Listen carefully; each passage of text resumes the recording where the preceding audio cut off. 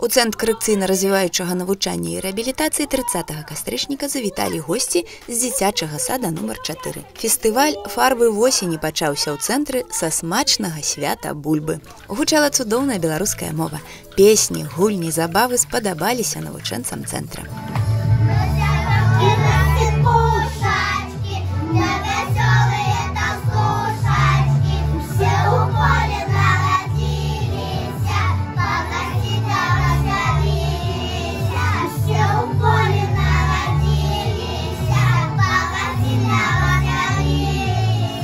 Ды яны не толькі пагулялі, стравы з бульбы ўспомнілі, а яшчэ і пачаставаліся. Музычны кіраўнік дзіцячага сада нумар 4 Аксана Рэзнік прыгатавала дранікі, такія духмяныя ды прыгожыя і, вядома ж, смачныя. Далучаць дзетак да нацыянальнай культуры, знаёміць з фальклорам і традыцыямі праз такія мерапрыемствы выдатна атрымліваецца.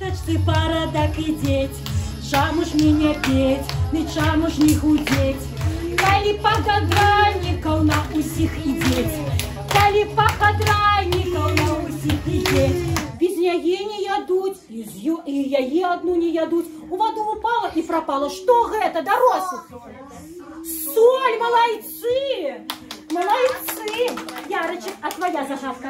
Реально, не вода солодка, не мед у коров берут, деткам дают. Што гэта? Что у коров берут, деткам дают? вельмі рады, што сёння дзеткі да нас завіталі і мы хочам падарыць вам кніжачкі на нашай роднай беларускай мове, каб вы абавязкова чыталі, успаміналі наше сённяшняе свята і любілі нашу цудоўную нашу родную мову.